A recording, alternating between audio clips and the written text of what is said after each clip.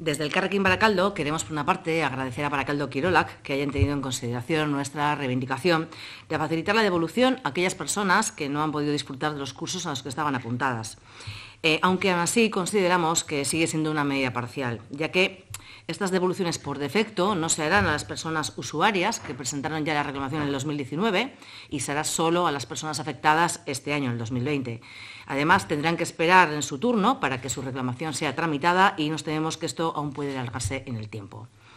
Además de esto, las devoluciones que se hagan por defecto en el 2020 no incluyen a todas aquellas vecinas y vecinos que adquirieron su bono anual, semestral o trimestral estas, aunque no hayan podido hacer uso, por ejemplo, de la piscina entre otros servicios, siguen estando discriminadas al no podérseles devolver la parte proporcional de los servicios no disfrutados.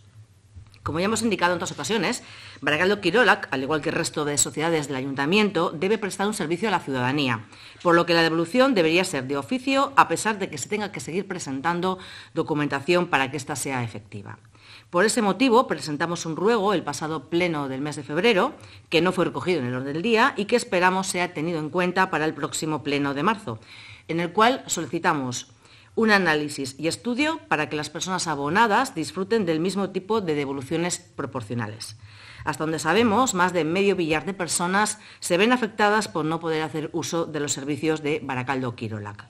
Asimismo, y por último, recordamos que siguen sin solucionarse los conflictos que existen en la subcontrata encargada de distintos servicios del polideportivo y consideramos que por parte del Ayuntamiento no se está haciendo lo suficiente.